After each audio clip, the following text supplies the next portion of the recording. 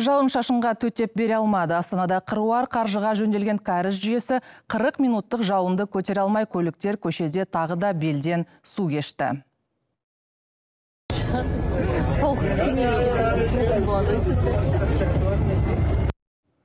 Қаланың бірнеше көшесінде жаяу жүргінші түгілі көлік қозғалысы қиындаған.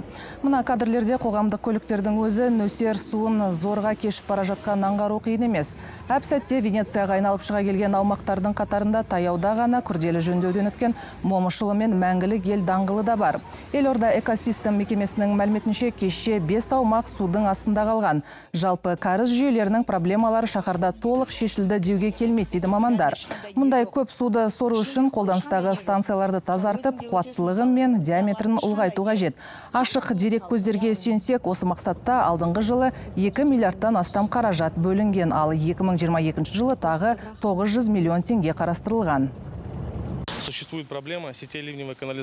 Судың үлкен көлемін қабылдау үшін қолданыстағы сорғы станцияларына тазарту жұмыстарын жүргізу керек. Қуаттылықтарын арттыру мәселесінде қайта қарау қажет. 20 жылдан астам қызмет көрсетіп келе жатқан қолданыстағы магистральдық коллекторлардың диаметрін күшейту де маңызды болып отыр. Сондай-ақ тұрмыстық кәрізді нөсер кәрізіне заңсыз қосу деректері бар. Бұл өз кезегінде нөсер кәріз жүйесінің жұмысы бұзылуына алып келеді. Нөсерлі кәріз жүйесі шаруашылық тұрмыстық кәріздерді қабылдауға арналмаған. Қыста қалың қар жауса ығыры шығатын астаналықтар жазды күндері нөсер жауынан әбден зәрезап болған. Көлгінов әкім болып тұрған тұста проблемалы аумақ саналатын Бауыржан Момышылы даңғылында ұзындығы 500 метрді құрайтын нөсер кәрізі салынғанын айтып, енді көшені су баспайды деп сүйіншілеген еді. Алайда кешегі жауын шашын жөндеу жұмыстарына бөлінген миллиардтардың желге ұшқанының айғағы.